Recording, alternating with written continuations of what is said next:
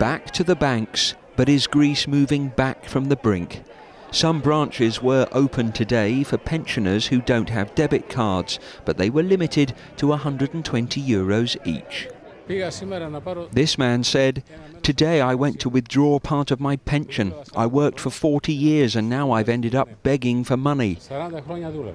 Another argued, This is not enough for me to help with my grandchildren. I have six. This will not be enough for them.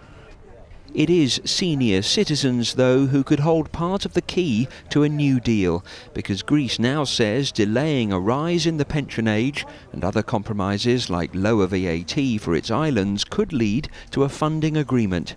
Το δημοψήφισμα της Κυριακής δεν αφορά την παραμονή but this afternoon, Prime Minister Alexis Tsipras made it clear a planned referendum on bailout options this weekend will go ahead, saying the popular vote is more important than government decisions. The latest Greek proposals were outlined in this letter sent by the PM today as the rest of Europe ponders the ripple effect of the country's crisis, including the Governor of the Bank of England on the outlook here.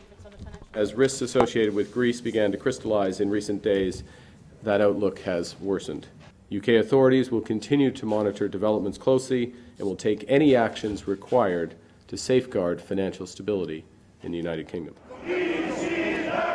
Back in Athens, there is no sense of stability, just stalemate, with fresh protests today outside the Finance Ministry, where these pensioners called for a vote against more austerity. But their referendum is still days away. Peter Lane, 5 News.